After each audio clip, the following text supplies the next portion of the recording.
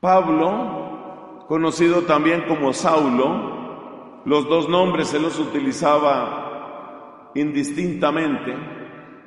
Hay gente que cree que él antes de la conversión se llamaba Saulo y después de la conversión se llamaba Pablo. No es cierto, simplemente Saulo es un nombre de sabor hebreo y Pablo o Paulus es un nombre muy útil para moverse en el imperio romano. Él utilizaba ambos nombres. Saulo se da cuenta de que la primera estrategia para extraer el tumor, es decir, para acabar con ese grupúsculo, no había funcionado. Pablo se da cuenta de que los cristianos ahora se han dispersado. En la mente de Pablo, antes de su conversión, lo que ha sucedido es algo parecido al que golpea un enjambre y se han regado las abejas. Entonces, como hombre inteligente, se da cuenta que la estrategia de golpear en Jerusalén no sirve. Cualquier acción que se haga en Jerusalén solo va a producir más misioneros. La decisión de Pablo, ¿cuál es? Irse hasta el extremo. O sea, lo mismo que hace un médico cuando opera. Cuando el médico opera un tumor, no empieza a remover el centro del tumor, sino que mira el borde. Por eso existe el dicho de cortar por lo sano. Mira hasta dónde llega el tumor y corta el borde para sacar el centro. La maniobra de Pablo es un intento audaz, inteligente, para deshacerse por fin de los cristianos. Él no quiere que nada falle. Por eso logra cartas de autorización de los sumos sacerdotes, de manera que su acción, que va a ser muy agresiva, tenga, por así decirlo, la bendición de la ley, la ley a la que le ha entregado toda su vida. La estrategia de Pablo entonces es irse al lugar más lejano para empezar desde ahí a recoger, de modo que no se me escapen otra vez las abejas. Voy a recoger a todos esos herejes, los concentro en Jerusalén, los encarcelo los mando a encarcelar y se hace justicia, se acaba ese tumor y por fin la gente entiende que el único camino es nuestro camino. ¿Entendió? No hay más caminos. Esos locos que andaban por ahí andando, que el perdón, el perdón y que Dios es amor y que uno no puede salvarse y que hay que simplemente confiar en la misericordia. Esa manada de locos ya la acabamos, esa página ya la pasamos. Fue una pesadilla, pero ya se acabó. Ahora sí volvamos a lo que es serio. Eso era lo que estaba en la cabeza de Pablo. Y por eso se va a Damasco porque según lo mejor de sus servicios de espionaje, y no exagero, hasta Damasco habían llegado los misioneros. Damasco ya es bastante más lejos de la tierra prometida, ya Damasco es Siria. Eso responde la segunda pregunta. Pasemos a la tercera pregunta. que es la más audaz y en cierto sentido la más especulativa. Porque el secreto de cada conversión solo lo tiene Dios. Solo Dios sabe qué le susurra a cada corazón. Nosotros no lo sabemos. Pero Pablo habló, varias veces de su conversión. Hay varios textos, como el capítulo primero de la primera carta a Timoteo. Ahí Pablo habla de su conversión. O el capítulo décimo, no, capítulo quince de la primera carta a los Corintios. Ahí habla de su conversión. Y en Hechos de los Apóstoles varias veces. Apoyándonos con humildad, postrados ante el Espíritu Santo, buscamos una pequeña luz, la que puedan soportar nuestros ojos, para responder a esa pregunta, ¿qué fue lo que descubrió?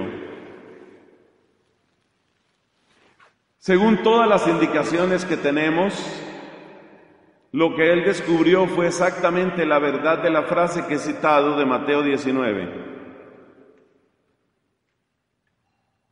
Recordemos, los apóstoles le preguntaron a Jesús, ¿quién puede salvarse? Y Jesús les dice, para el hombre es imposible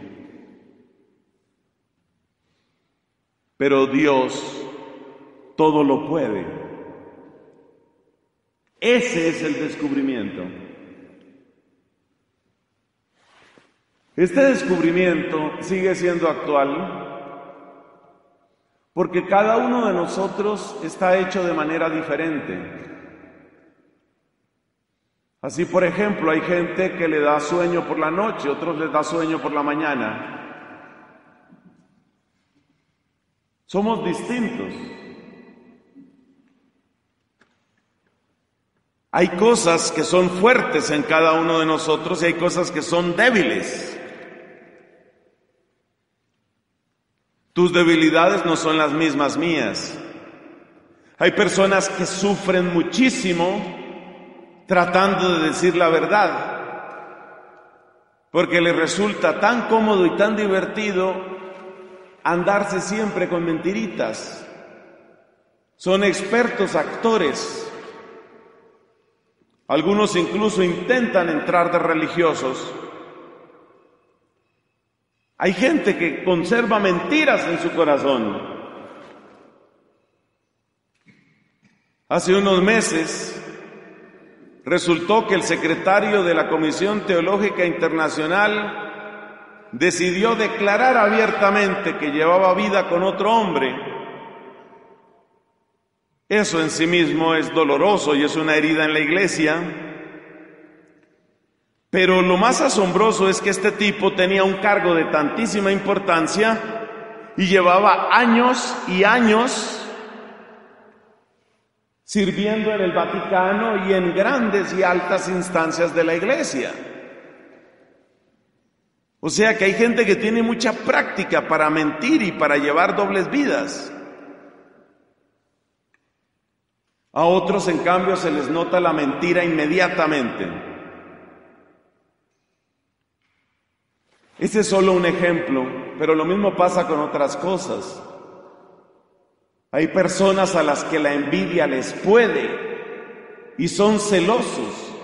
Y como decía mi difunta madre que de Dios goce, no pueden sentarse a la mesa sin ver platos ajenos que le dieron al otro. ¿Por qué a mí no?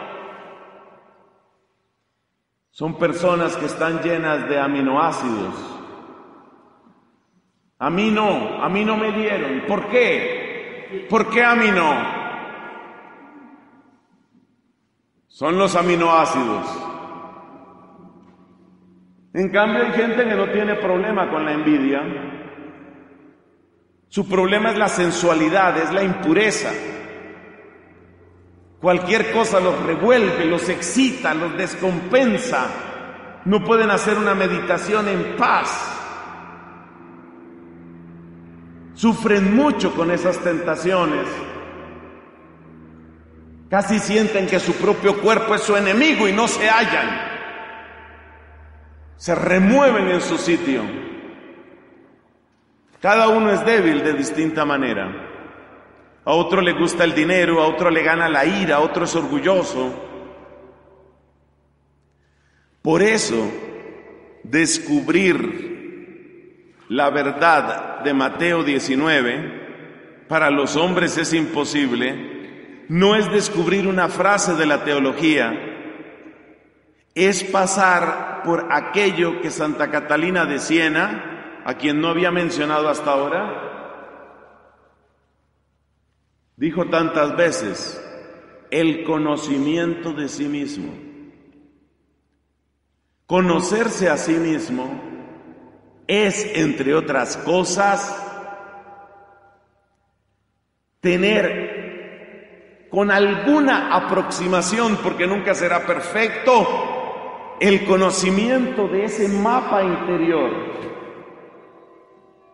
Por eso uno hace retiros espirituales, porque en la soledad, en el silencio y en el desierto, uno trata de escrutar el corazón y uno trata de descubrir la verdad de lo que encontró San Pablo.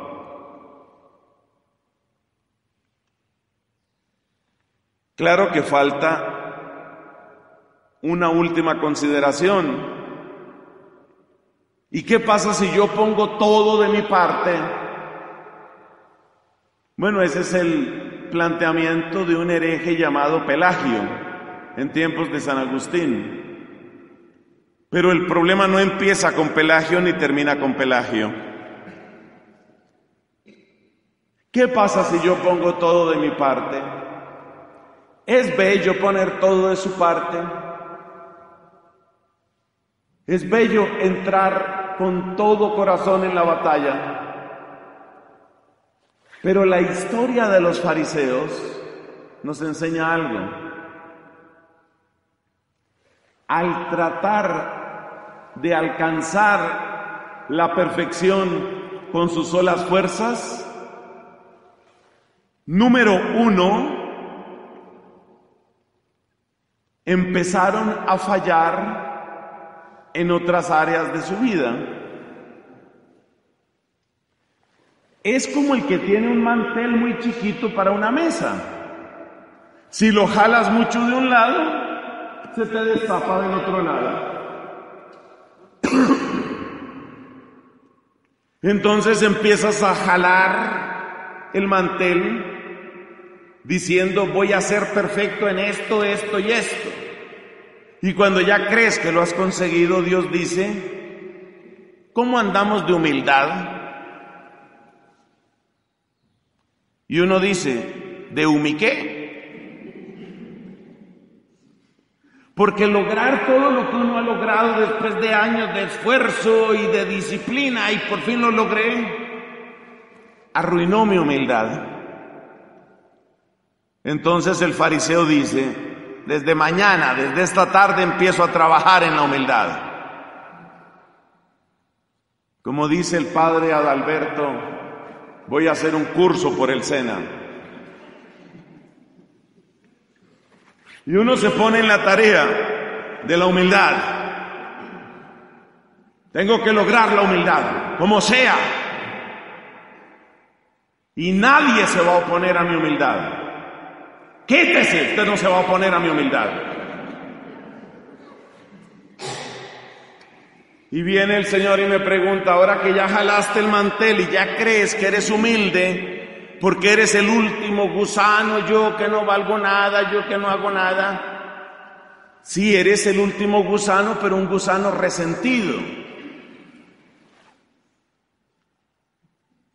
La metáfora del mantel pequeño es muy importante.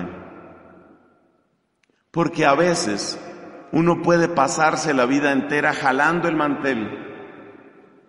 Ahora soy humilde, ahora soy caritativo. Hay gente que le apuesta a lograr la caridad como sea, pero revientan el mantel dejando destapada y sin protección la parte de la verdad. Esos que consideran, por ejemplo, que la misericordia consiste en justificar cualquier comportamiento humano porque hay que ser compasivos. Esos están tratando de tapar con el mantel la esquina de la caridad, pero se les destapa la esquina de la verdad. Entonces, cuando les pregunten qué fue lo que descubrió San Pablo, San Pablo descubrió que su mantel era muy chiquito. Necesito otra estrategia. Necesito algo distinto. Mis antiguas certezas no me permiten dar un paso más. Mis antiguas certezas no dan más.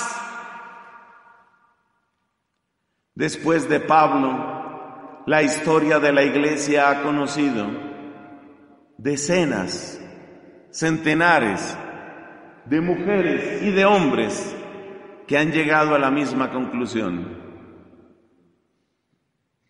Y bendita es ahora, bendita es ahora en que uno descubre que los recursos de antes no dan, las certezas de antes no dan y el mantel de antes no da. Bendito el momento en el que uno se cae ante Dios, se postra ante el Señor.